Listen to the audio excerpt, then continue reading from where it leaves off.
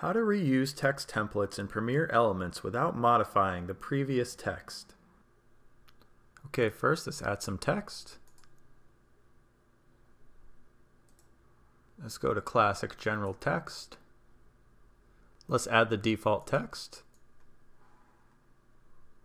And let's modify this text. Now we have a text template that says hello.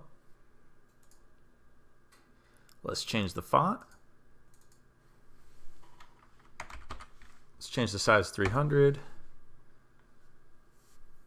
Center our text.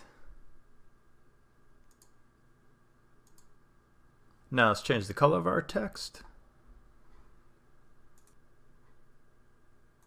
Now if we copy our text the regular way, edit, paste it onto our timeline. Now we have, let's move this over a little bit.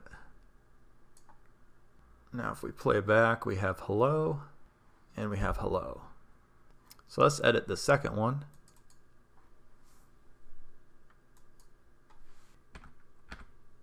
Say oops.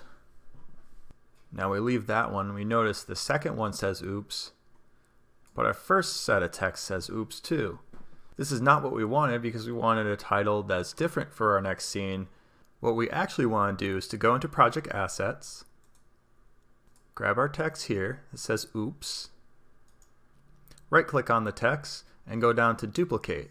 And now we have the same template, so the same colors, the same font, and the same font size as before. And we can drag that onto our timeline. And we can edit this third one.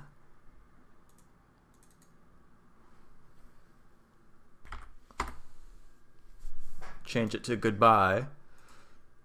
Now we notice, we look at our previous two, and they'll say oops, but this one will say goodbye, and the previous ones now do not say goodbye, they still say oops because we duplicated the text template instead of copying the text template.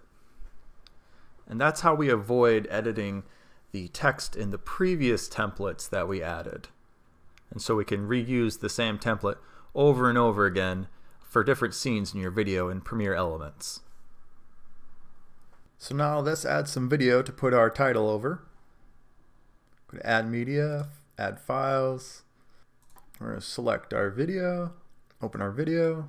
Now let's drag these three titles up into video 2. Now let's drag this video in. Let's put these titles together. And here's our video with our first title, Oops. Our second title, Oops, because they were copies of each other. And then our next title, Goodbye, because it was a duplicate of the previous template. So we got separate text, just as we wanted. If you found this video helpful, please give it a like and give it a comment below. If you want more Adobe Premiere Elements tips, please subscribe. Thanks for watching.